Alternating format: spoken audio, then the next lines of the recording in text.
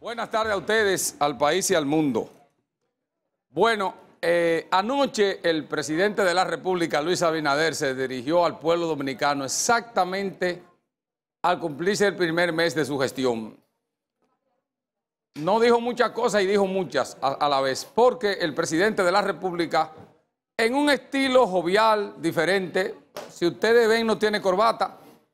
Creo que nada más usó corbata el día de la juramentación, la toma de El posesión. maquillaje está un poquito raro, ¿eh? Bueno, como me han puesto a mí, que me han puesto blanco. Claro, Luis no es prieto, pero, pero Luis Abinader, eh, un estilo diferente, sentado prácticamente en el escritorio. Eh, él, él quiere, para mí él quiere crear un estilo y una estampa de, de él como, como tal, como figura. Me gustó el discurso por una cosa, porque no fue cansón, fue entre 6 y 7 minutos. Eh, y dijo, la gente, eh, he oído comentaristas, porque ahora no sabe que esto se ha llenado de, de técnicos y teóricos, decir que debió hablar más, pero ¿qué es lo que va a hablar si el hombre lo que acaba de cumplir es un mes? ¿Qué va a decir? Yo quiero que alguien me diga, hacer promesa, yo creo que hizo lo correcto, habló preciso y conciso, sobre todo en un país donde estamos hartos, que un, pero un dirigente de cualquier eh, junta de vecinos le hacen una entrevista y dura 20 horas respondiendo una pregunta.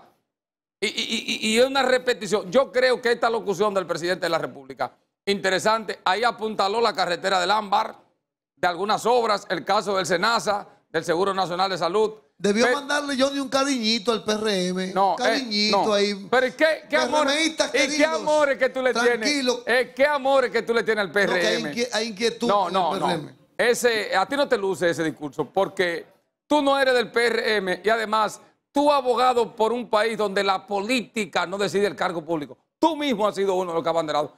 Pero Abinader dijo algo interesante. No habrá impunidad. Ese sí yo creo que es lo que tú y el pueblo dominicano han estado esperando. No habrá impunidad. Y dijo incluso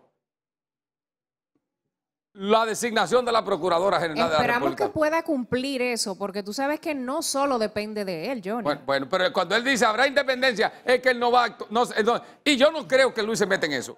Ni quiero que Luis se meta en eso. Al contrario, que la justicia fluya.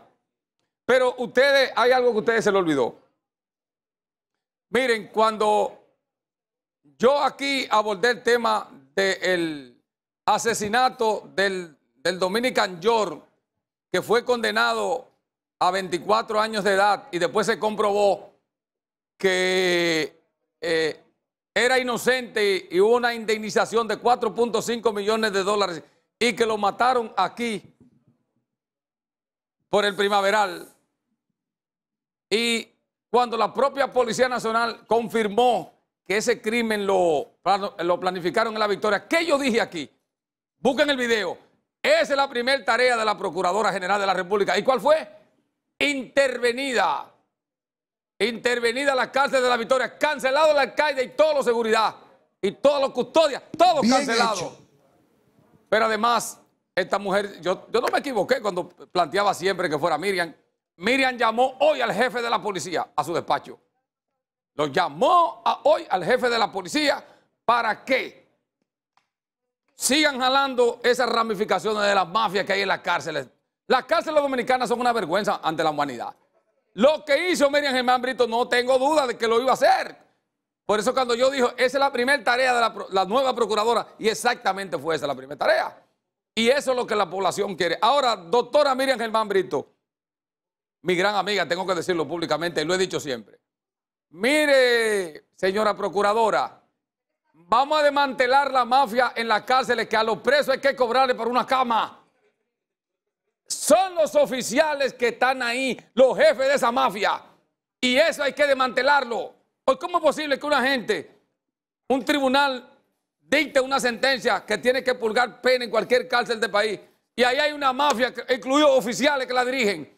¡Ey, cuidado! ¡Ey, va para el piso! Dice un oficial. Y va otro por atrás y te dice, ¿tú sabes por qué? Ahí va para el tigueraje, ahí te van a matar y te van a violar. Mira, esta cama cuesta 40. Es ahí que está la mafia.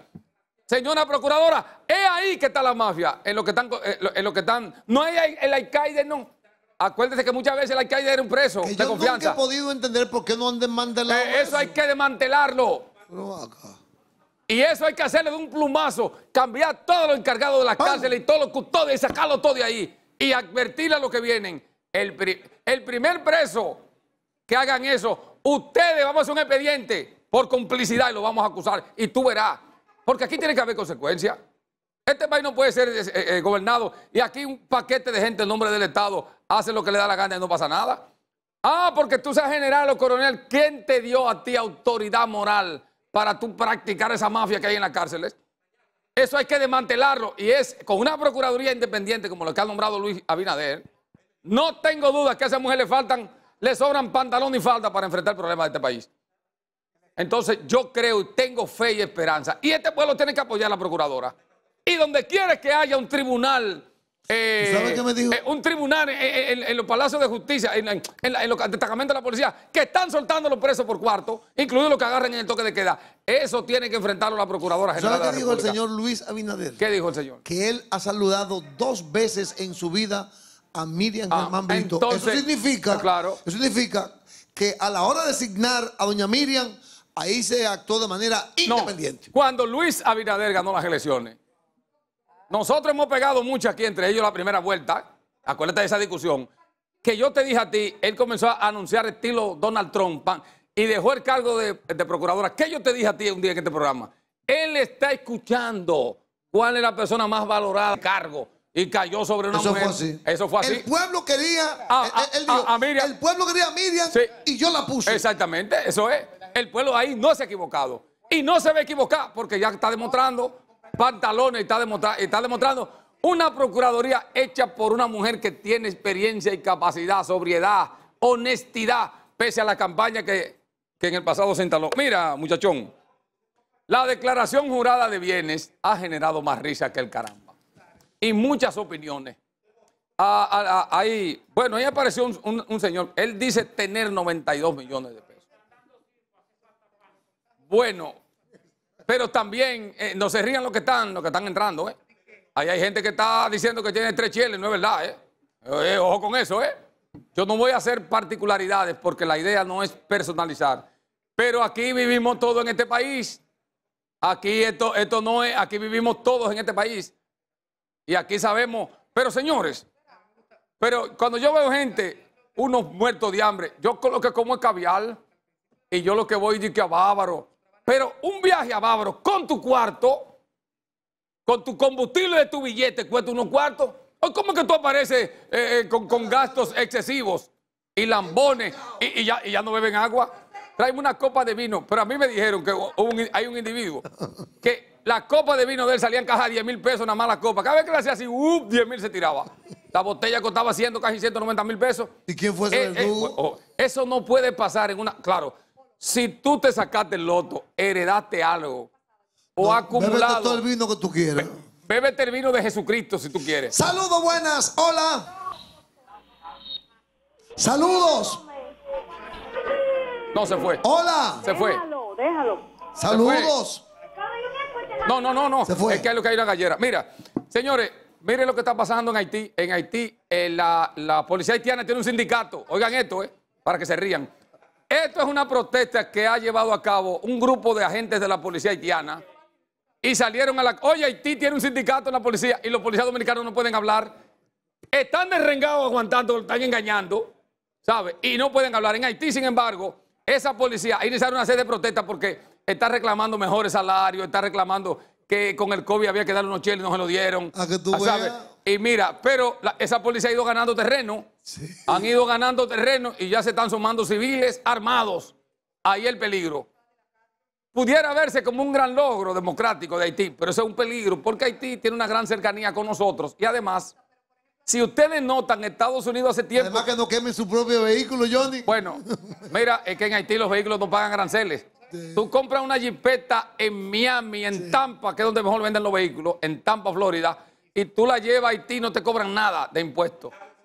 Este país no está lleno de, de- de- vehículos bien por eso, por los grandes aranceles. Saludos, buenas. Hola. Saludos. No, déjalo, déjalo, se fue. Mira, entonces, esa protesta haitiana hay que poner atención.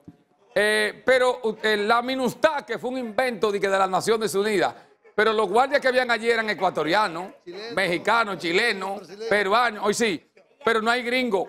Haití debe ser, eh, esto suena duro lo que voy a decir, Haití es un absurdo, Haití hay que intervenirlo y organizarlo, ayudarlo a organizar. ¿De qué manera? Bueno, para darle mayor eh, seriedad a esa intervención debe ser las Naciones Unidas. Pero yo he dicho aquí que las Naciones Unidas eh, es un- una reunión de bebedores de vino y de hacer lo que Estados Unidos eh, aprueben esto. Es así, eso, lamentablemente esas son las Naciones Unidas. Pero de todas maneras, de todas maneras, algo hay que hacer con Haití. Algo hay que hacer con Haití. Y si hay una nación que tiene que reclamar que Haití se normalice, somos nosotros. Porque nosotros somos aquí el patio de Haití. De que pasa un lío, ¿para dónde que cogen ellos? Para acá, para la República Dominicana. Y Haití se nos lleva cerca del 25% del, del presupuesto de salud se va en parturientas y en pacientes haitianos. Y eso, nosotros tenemos que poner claro la situación. Muchachón, oye esto. Miren, acaba, a raíz de una serie de denuncias que se han hecho los usuarios en los bancos, la Policía Nacional ha capturado, aparte de una banda de clonadores de tarjetas, por ahí hay una foto que envió la policía. Entonces, esa banda de, de clonadores de tarjetas también ha afectado a ciudadanos norteamericanos. Eh, y entonces, las autoridades están investigando. ¿Por qué? Porque la mayoría de los integrantes de esta banda son muchachos de barrio que han aparecido con, con muchas propiedades, entre ellos vehículos, y con una vida como la de un tutumpote. Mira, se quedaron la foto. Entonces, eh, el apresamiento de esas bandas, hermano, en las emisoras, de la, por ejemplo, de la ciudad de Nueva York, se trascendió que la mayoría del dinero obtenido con las trampas de esas tarjetas Sí. es para comprar vehículos en Estados Unidos para traerlos para acá. Eh, mañana yo prometo, entre mañana y el lunes, Ellos cometieron un error. entre mañana y el lunes, Tú te puedes robar una tarjeta aquí y tal vez no te pase nada. Ahora, si tú le robaste una tarjeta, le desfalcaste una tarjeta a un americano, donde quiera que te metas, te, te pero ahí, ahí es que está el problema. Es que ellos lo han agarrado porque dentro de los estafados hay ciudadanos norteamericanos. Eh, Y hay tarjetas que tú sabes que tienen servicios internacionales. Incluso tú puedes tener una tarjeta de un banco dominicano, sobre todo en el banco de reserva, una tarjeta pesos y dólares. Cuando tú vas a viajar, tú vas al banco más cercano, la sucursal más cercana, y notifica al banco, yo eh, voy a usar mi tarjeta internacional en dólares, por ejemplo. Y entonces el banco te dice, ¿en qué sitio usted va a pernoctar? Bueno, yo voy para Orlando New Jersey. y me puedo mover a New Jersey para que ellos sepan, cuando vaya un voucher de allá, sepan, el banco te autoriza. Todos, hemos viajado y tenemos esa experiencia. Pero ¿qué resulta? Que esta banda, me hubiese gustado que ustedes, la foto hubiese aparecido, ellos están esposados, eh, esposados, lo tiene la policía. Sí. Usted ve unos muchachitos que yo creo que no tienen 40 años de edad ninguno, de estos, Increíble de eso. estos alegados delincuentes. Son muchachos todos, jóvenes todos.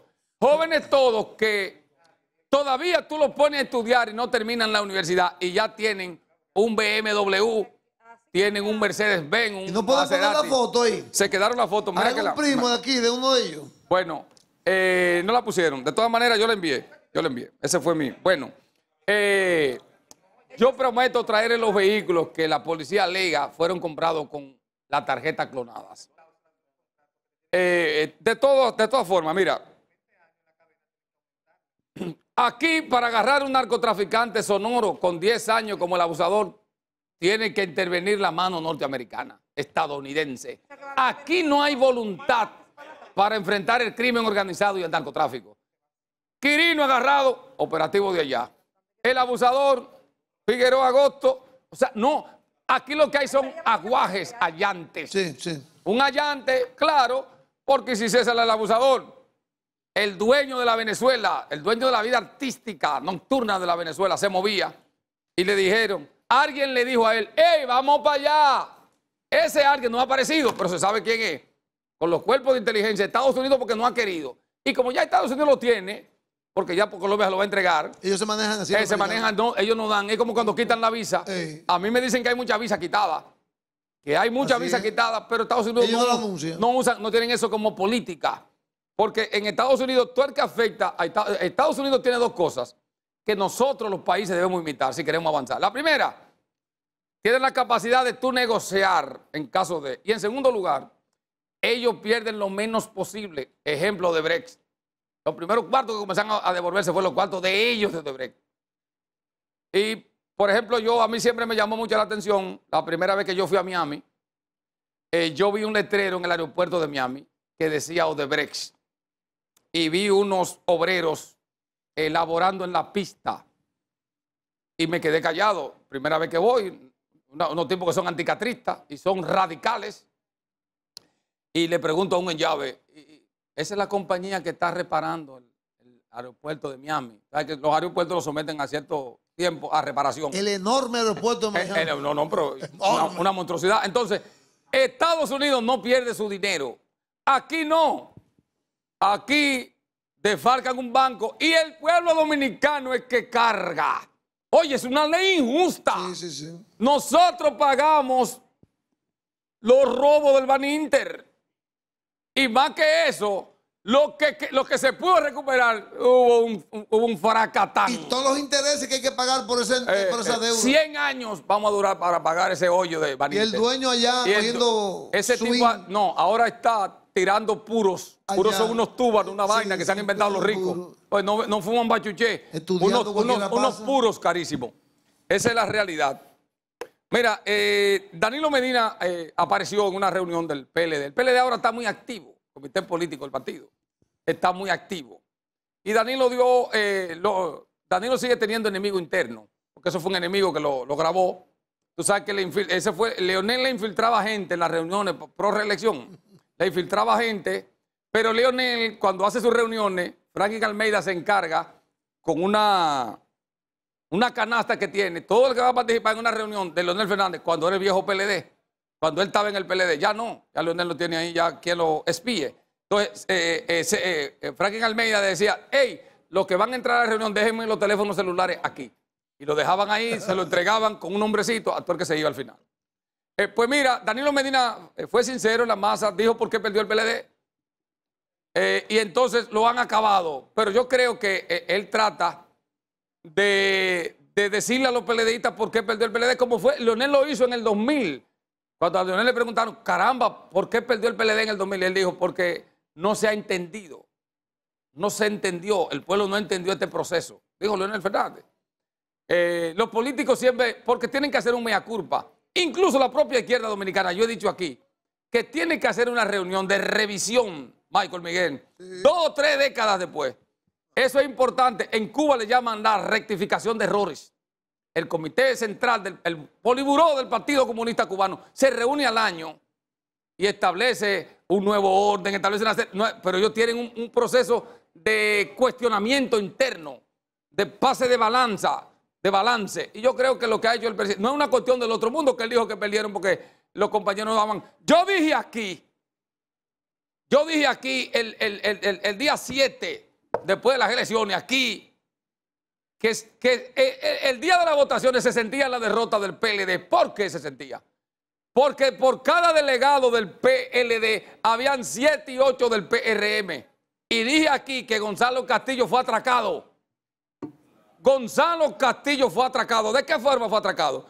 Que ellos distribuyeron el dinero en la noche de la logística y los en llaves se quedaron con ellos. No fueron ni siquiera a defender el voto. Se sabía que el PLD era difícil, todavía unido. Todavía Leonel candidato y el PLD iba a perder como quiera. Y déjame decirte una cosa, si Danilo había estado rehabilitado, si ese proceso no se había parado, Danilo pudo haber sido el candidato del partido y otro, otro gallo pudiera cantar. Ahora, ya el palo está dado. El palo está dado. Lo que yo creo es que el, el PLD todavía se van a ir algunos. Se van a ir gente ahí porque no hay duda de que Leonel Fernández hizo un liderazgo dentro del PLD. Incluso tú oyes muchos opinadores, yo no le llamo periodistas, opinadores, que Leonel Fernández lo sacó del polvo. Y eso van a hablar de Leonel, aunque sea en la luna, porque Leonel lo hizo gente.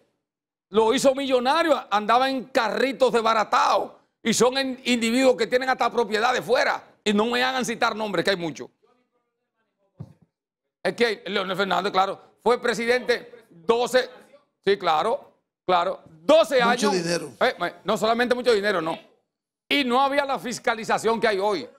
La- las redes sociales cuando Leonel no estaban como están ahora. ¿Entiende? Entonces, eh, eso no hay que volverse loco por lo que planteó eh, Danilo Medina, que yo insisto que va a ser el presidente del PLD, lo he dicho siempre. Ahí no hay otro que tenga la... Que tenga Yo la siempre te contesto que a mí no me gusta eso. Pero, pero tú no, tú, no eres político. No, no, que ese fracasó. Ah, no, tú no. Perdió las elecciones. No, pero, oye, el único país del mundo en que la gente Entonces- pierde y sigue. entonces, el único país del mundo en que la gente la, tú, pierde y perdiste, sigue ahí igual. tú perdiste la alcaldía. Y ahora tú tienes, perdón, perdón, espérate, espérate. Tú vas a hablar ahora. Tú perdiste la alcaldía y ahora tú estás más activo que la campaña.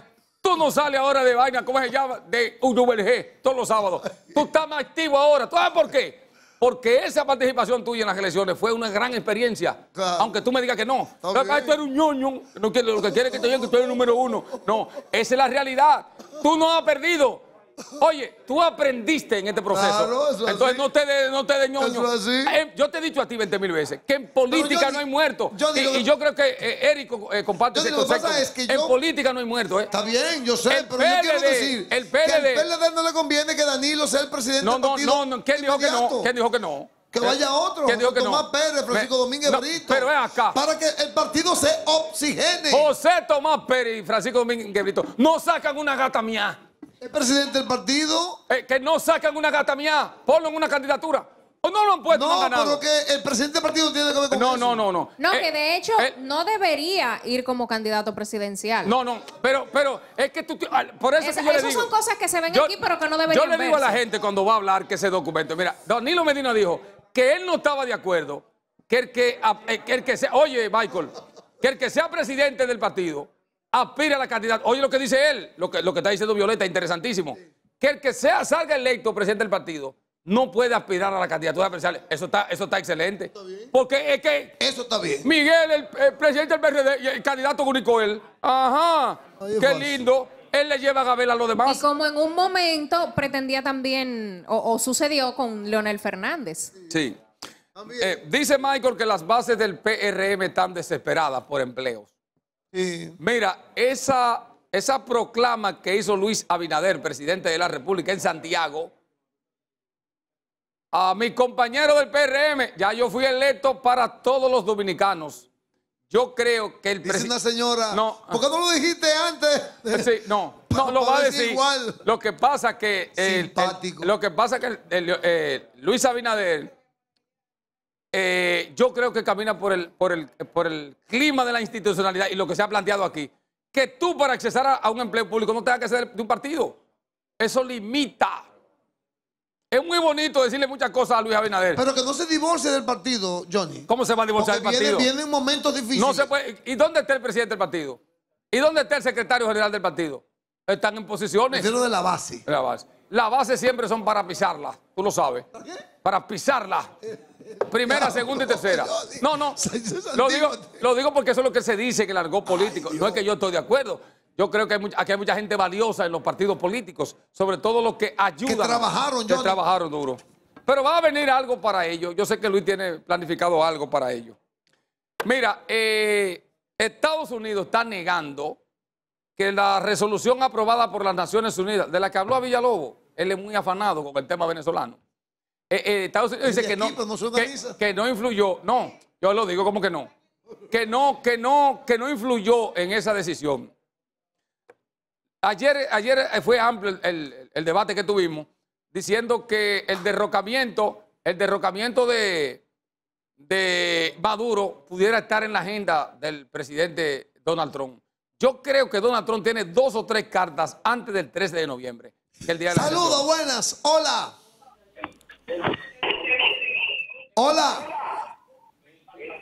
Baje su televisor, por favor. Le escuchamos. Hay problema hoy. Sí, hay problema hoy Sí. en el teléfono. Hola. Buenas tardes. Saludos, Sí. ¿qué tal? Cuéntame. Buena, buena. Buena, Sí. buena, cuéntame, cuéntame. Ajá.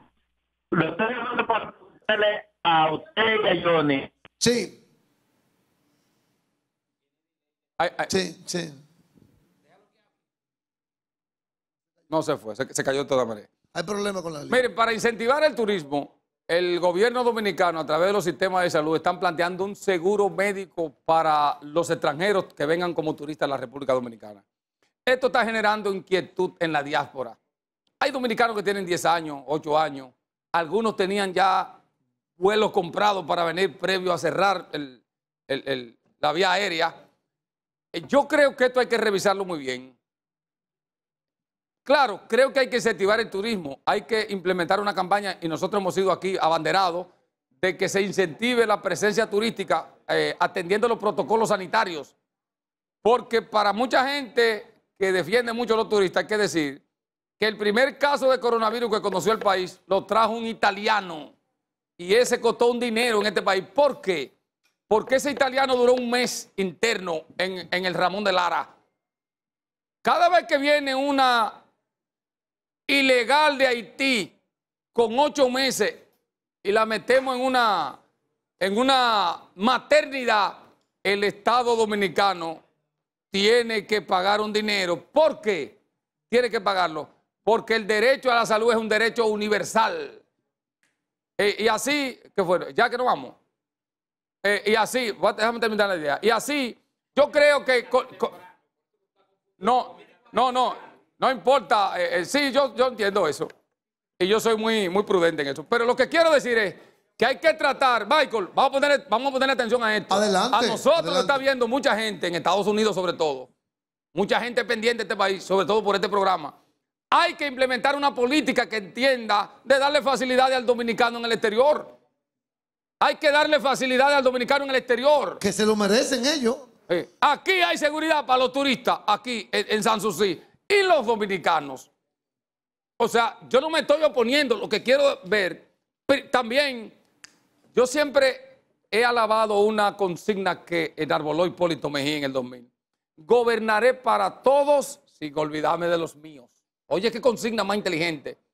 Ayudemos al turista, pero ayudemos al dominicano. Y yo le voy a decir una cosa a ustedes. Los dominicanos de la diáspora están más pendientes de esa bandera y esa bandera tricolor y este himno donde quiera que está. Por lo tanto, esa gente que está en el exterior, que son nuestras, al momento de pisar el suelo dominicano, deben tener algún tipo de garantía y de seguridad. No puede ser que todo el privilegio se le dé al extranjero. Eso es así. Entonces, eh, eh, pareciera como si aplicara aquel método de Guaca- Guacanagariz. Entonces, vamos a pensar bien eso y vamos a ampliar las facilidades sanitarias y de salud para los dominicanos que vienen y no solamente para los turistas con este asunto del COVID. Yo termino eso. No voy a hablar de los apagones porque voy a reventar Sí, sí. lo que está pasando, sobre todo donde yo vivo. No lo digo por mí, porque cuando hablo de los apagones hablo del país. Pero ya yo no tengo palabras para definir cómo resolver. Yo, si me dejaran resolver el problema eléctrico, lo resolvería de una sola manera. No la digo ahora porque cierran el canal. Pero, Johnny Vázquez pero no es fácil lo que yo pienso. Aquí en De Extremo Extremo. El garrote concluye. Este segmento llegó a ustedes gracias a nuestros amigos de Orto Implante Centro Dental Dr. Cabral. En Orto Implante brindamos la seguridad de una sonrisa perfecta y renovada con más de 20 años de experiencia en odontología. Estamos ubicados en Santiago también, en la avenida Enriquillo número 61 y en la autopista San Isidro. Ahí están nuestros contactos para cualquier información adicional. Orto Implante, atrévete a lucir esa sonrisa que siempre has deseado.